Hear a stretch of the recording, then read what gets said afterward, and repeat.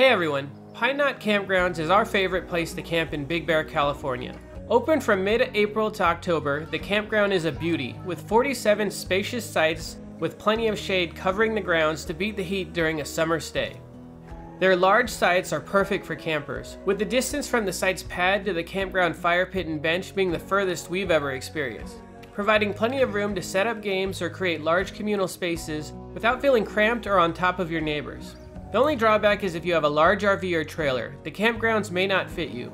With narrow roads, tight turning, and small pads, the maximum vehicle length is limited to 20 to 26 feet, depending on the site.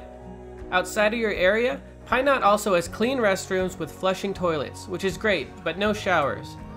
Exploring the grounds, you might see a tiny stream trickling through some of the areas, and the hibernating chairlifts of Snow Summit nearby, eagerly awaiting for the next snow season. That being said, Pineknot Campgrounds is a great location near the middle of Big Bear. Close to Big Bear Boulevard, access to all the city's stores and restaurants is super helpful for any families camping with kids.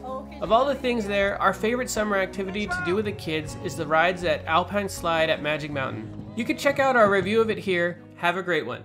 Thanks for watching our show.